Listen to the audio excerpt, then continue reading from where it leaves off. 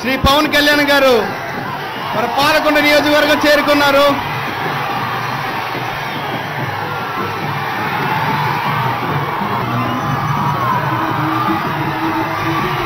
ప్రేమతోటి అభిమానంతో నలిగిపోవచ్చా అంటే పాలకొండ జన సైనికులు చూపించారు నన్ను నలిపేసి.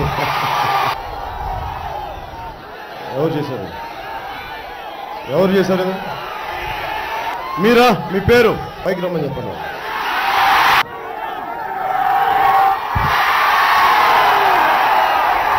నాన్నగారికి కూడా థ్యాంక్స్ చెప్పు. మీ అబ్బాయా? మీ అబ్బాయి ఆ, చాలా సంతోషం. చాలా విలువైన బహుమతి ఇచ్చారు.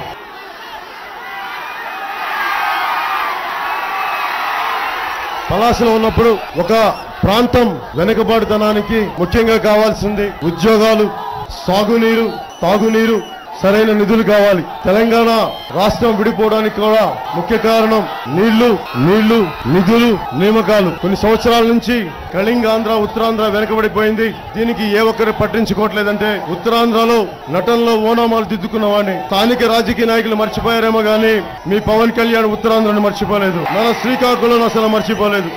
నేను ఈ రోజు మీ దగ్గర విన్నవించుకున్నది ఒకటే ఈ రోజున ఎక్కువ ప్రస్తావించేది తోటపల్లి రిజర్వాయర్ రైతులు తోటపల్లి రిజర్వాయర్ రైతులు నా దగ్గరకు వచ్చి చాలా బాధలు పడ్డారు.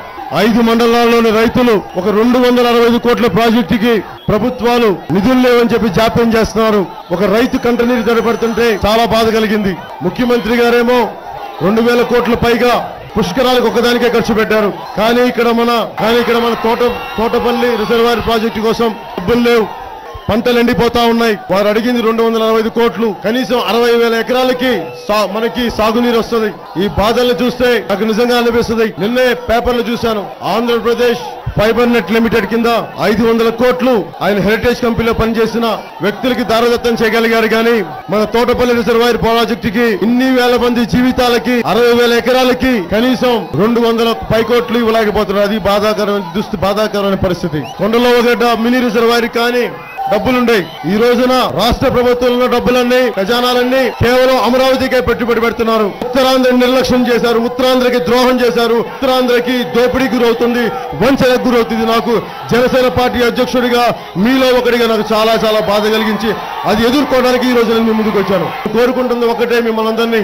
మీ అందరికీ తెలుసు నేను కేవలం పదవుల కోసం అయితే అధికారం కోసం అయితే నేను పద్నాలుగులోనే పదవులు తీసుకునేవాడిని. కానీ సమస్యల్ని అధ్యయనం చేయడం కోసం సమస్యల్ని అర్థం చేసుకోవడం కోసం మన కష్టాలు ఎలా ఉంటాయి చెమట పడితే ఎలా ఉంటుంది నలిగిపోతే ఎలా ఉంటుంది సగటు రైతు ఎలా కష్టపడుతున్నాడు సగటు మహిళ ఎలా కష్టపడుతోంది?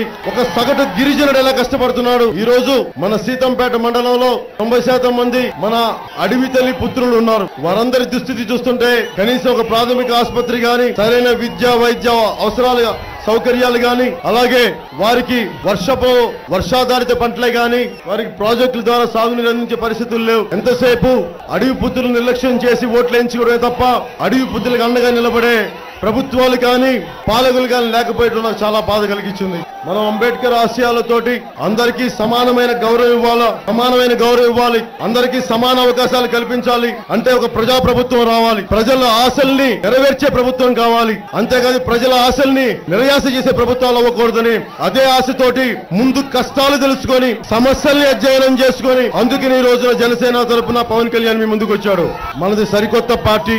నిజంగా నాకు పదవి కావాలంటే నేను ఈ రోజున ధైర్యంగా తెలుగుదేశాన్ని మాట్లాడుతున్నందుకు నాకు కారణం మనకి ఇంతమంది ఎమ్మెల్యేలు ఉన్నారు. తెలుగుదేశం మన పార్టీ ఎంపీలు ఉన్నారు శ్రీకాకుళం నుంచి. మనం వెనకపడతానని మాట్లాడడానికి వారి స్వలాభం కోసం వారి లబ్ధి కోసం జిల్లా జిల్లా ఆశయాల్ని జిల్లా అవసరాలని పాలకొండ నియోజకవర్గ అవసరాలని తాకట్టు పెట్టారు. నేను ఎందుకు రాగలుగుతాను మీ ముందుకంటే నేను వాళ్ళకి సహాయం చేశాను కానీ నాకు సంబంధించి ఒక్క రూపాయి కానీ ఒక చిన్న అపాయింట్మెంట్ కానీ చిన్న పోస్ట్ కానీ నేను తీసుకోలేదు. నాకు ఎందుకంటే నాకు కావాల్సింది ప్రజల బాగోగులు కావాలి కానీ నాకు వ్యక్తిగత అవసరాలు అవసరం లేదు.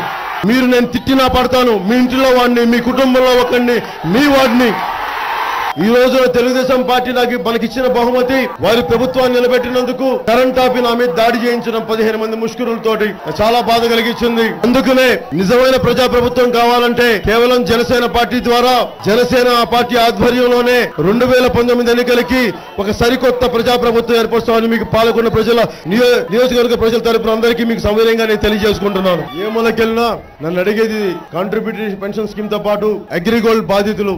అగ్రిగోల్డ్ బాధితులను చూస్తే చాలా కడుపు దొరికిపోద్ది ఈ రోజున అగ్రిగోల్డ్ ఆస్తులు ప్రభుత్వ అండర్లో ఉన్నాయి. అవన్నిటినీ వేల వేసి ప్రజలకి న్యాయం చేద్దామని చూస్తే అవి కేవలం తెలుగుదేశం పార్టీ వాళ్ళు ఆ ఆస్తుల్ని సొంతం చేసుకోవాలని దిశగా ఆలోచిస్తున్నారు. దీనికి జనసేన తీవ్రంగా వ్యతిరేకిస్తుంది. అవసరమైతే నేను వామపక్షాల వారికి సిపిఐ సిపిఎం ని కలుపుకొని అగ్రిగోల్డ్ బాధితులకి న్యాయం చేస్తానని మీకు సవినయంగా తెలియజేసుకుంటున్నాను. ఈ స్పెషల్ కేటగిరీ స్టేటస్ ఉద్యమాన్ని మరింత ఉధృతం చేస్తాం. నేను చెప్తున్నాను ఎక్కడో మారుమూల మనకి అందరూ అనుకుంటారు ఉత్తరాంధ్ర మారుమూల ప్రాంతం శ్రీకాకుళం మూలను విసిరేసినట్టు ఉంటది. దానిని పట్టించుకోవాల్సిన అవసరం లేదని. ఈ రోజున వంశధార ప్రాజెక్టు కానీ మన రిజర్వాయర్ సంబంధించిన ఇష్యూస్ కానీ ఏమీ లేకుండా నేను బయటకు వచ్చి ఈ రోజు ఉద్దానం సమస్యకి నేను పోరాటం చేస్తే ప్రభుత్వాలు ఇంత కదిలినప్పుడు మన స్థానిక ఎమ్మెల్యేలు కానీ మన స్థానిక ఎంపీ కానీ నిజమైన పోరాటం చేస్తే ఉత్తరాంధ్రకి ఎందుకు వెనకబాటుతూనే ఉంటుంది? శ్రీకాకుళం ఎందుకు వెనకబాటుతూనే ఉంటుంది? మన పాలకొండకి ఎందుకు వెనకబాటుతూనే ఉంటుంది? అందుకని ఒక్కసారి మీరు చైతన్యవంతులై ప్రతి ఎమ్మెల్యేని ప్రతి ఎంపీని నిలదీసి అడగాల్సిన అవసరం ధైర్యం కావాలని నేను మనస్ఫూర్తిగా